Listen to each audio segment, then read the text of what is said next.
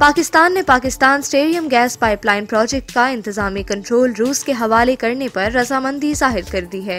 पाकिस्तान ने रूस के साथ स्ट्रेटेजिक पार्टनरशिप के फिरोह के लिए Pakistan stadium gas pipeline project P का इंतजामी कंट्रोल एक खसूसी कंपनी के ज़रिए रूस के हवाले करने पर रजामंदी ज़ाहिर कर दी है।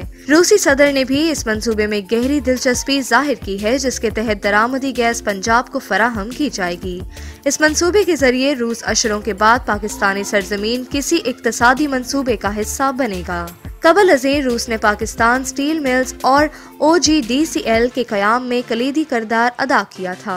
पाकिस्तान और रूस के दरमियानी तजारती तनाज़ा हल होने के बाद पाइपलाइन प्रोजेक्ट से दोनों मुल्कों के ताल्लुकात एक नए दौर में दाखिल होंगे। ये फैसला किया गया कि गैस इंफ्रास्ट्रक्चर डेवलपमेंट सीज जे की मद में हासिल होने वाले funds north south gas pipeline, जिसे अब पीएसजीपी का नाम दिया गया है, पर खर्च होंगे।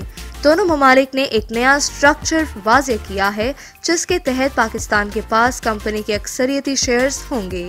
नज़रसानी शुदा प्रोजेक्ट स्ट्रक्चर में पाकिस्तान के पास चौहत्तर फ़ीसद और रूस के पास 26 फ़ीसद शेयर्स होंगे। इसी तरह फाइनेंसिंग में भी पाकिस्तान का ज़्यादा हिस्सा होगा, ताहम कंपनी का इंतजामी कंट्रोल रूस के पास होगा।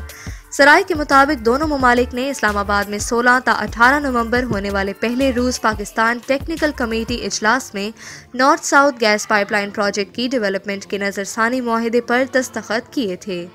माहे के तहत पाइपलाइन प्रोजेक्ट की गुंजाइश भी एक इशारिया छह बिलियन क्यूबिक फीट योमिया तक बढ़ा दी गई। रूसी गैस कंपनी टीई के पाइपलाइन बिछाएगी और ज़रूरी आलात फराहम करेगी, जबकि पाकिस्तानी गैस कंपनियों को रूसी फर्म के साथ काम करने का मौका मैसर आएगा। इसी तरह टेक्नोलॉजी की पाकिस्तान को मुंतकली भी अमल में आ जाएगी।